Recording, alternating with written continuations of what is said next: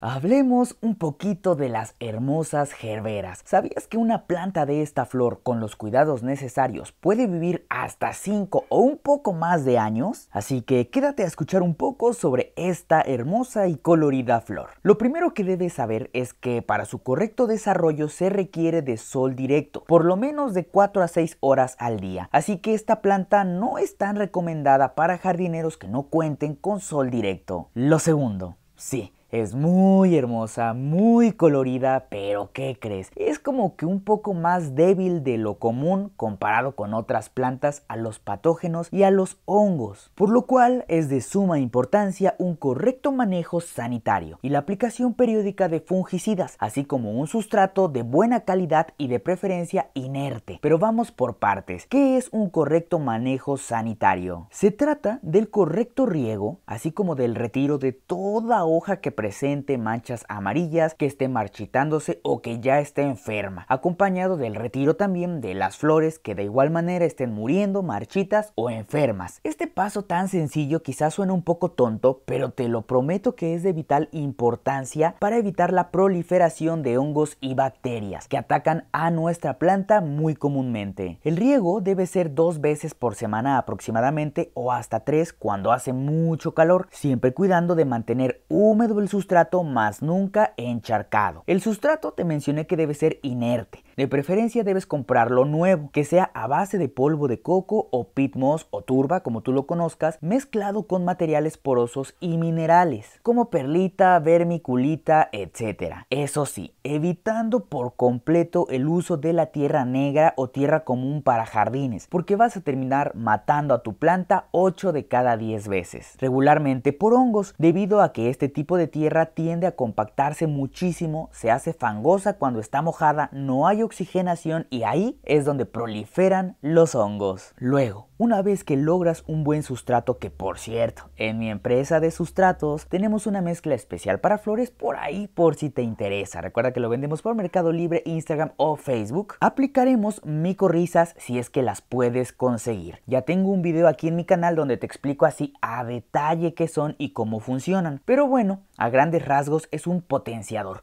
un potenciador de raíces, que lo que provoca es lo siguiente, que se puedan obtener mayor cantidad de nutrientes, lo que hace que la planta eleve sobre el promedio con otras plantas la resistencia a las plagas, enfermedades, patógenos, hongos. O sea, es como si le estuvieras poniendo anabólicos naturales, cabe mencionar que las micorrizas son completamente naturales, a tu planta. Los grandes productores de gerberas utilizan las micorrizas siempre en su producción pues para evitar mermas por los ataques de patógenos. Así que bueno, espero la puedas conseguir. Regularmente viene en polvo, se tiene solamente que mezclar con el sustrato o con un poco de agua, vertirlo en la tierra y listo, comienzan a proliferarse y adherirse a las raíces. Y así llegamos a la aplicación de fungicidas. Lo ideal es tratar de no utilizarlo, de preferencia si utilizas las micorrizas no vas a tener que utilizar fungicidas, pero si ya te ves en la necesidad, entonces busca uno que sea sistémico, o sea que entre por las raíces, fluya por toda la savia de tu planta y así mate cualquier hongo. Como preventivo puedes utilizarlo una vez cada dos meses, siempre siguiendo las instrucciones del fabricante que te indican el frasco para preparar la mezcla. Y por último, para lograr floraciones todo el tiempo, porque la gerbera florece básicamente todo el año, debemos aplicar obviamente fertilizantes, alimento para la planta. Regularmente si compras un sustrato nuevo te ahorras este paso porque ya viene cargado de nuevos nutrientes, pero si no, entonces aplicas fertilizante rico en potasio y fósforo una vez cada 20 días, una cucharada pequeña, ya sea que tú lo consigas en bolitas o granos o bien en polvo, una cucharada pequeña cada 20 días. Eso sí, asegúrate que sea rico en potasio y fósforo. Y así con estos cuidados te prometo que la próxima gerbera que adquieras no va a terminar por sucumbir ante los hongos. Ahora te toca a ti dejarme en los comentarios alguna experiencia que tengas con esta planta, como la cuidas, si fracasaste, lo que sea es bienvenido. Te mando